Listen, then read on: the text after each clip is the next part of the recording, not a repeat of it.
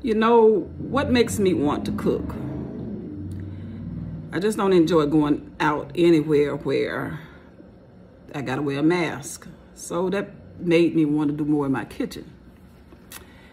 And I would tell any young lady, take it from somebody who's older. Learn how to cook. Learn how to save your money. And these things I'm telling you because I learned at a older age. And I think that one reason why God wanted the older women to teach the younger women is because we already know it doesn't work. I was telling my son today, I said, if you decide to get married, make sure you understand that God has put you in a position that you are the responsible one. Find you somebody who wants to be a team player. Don't be like your mama because I spent a lot of money being vain. I had thousand dollars uh, car notes. I've had seven hundred dollar car notes, eight hundred dollars, six hundred, five, and I think my lowest car note was low four hundreds.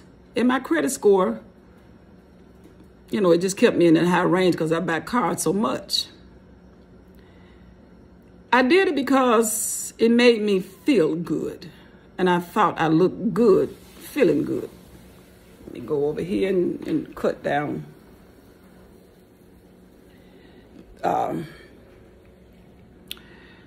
but it, but when I read in Proverbs and it said there are those that appear to be rich, but they own nothing, that hit me. Not so much that I was rich, but I had something better than others or different from others, not necessarily better. But I didn't own it.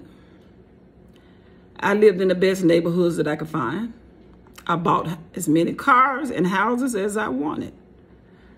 But then I found out that being that way could be a stressful situation trying to be married. So I have learned through the word to live within a budget that your husband can handle if he chooses to say, let me be the breadwinner. However you all decide to do it. But I do know that these things are required by God. That you are to keep a clean house. That's required and uh, you are to look well after your children. That's required. And if you can do anything extra, anything extra, and you can do all of that, I think you're overworking yourself. If I could do it over young lady, I would stay at home and watch my house become the building that God designed. You may start out at a low budget. Let's say you make a $1,500 a month. I can't live like that.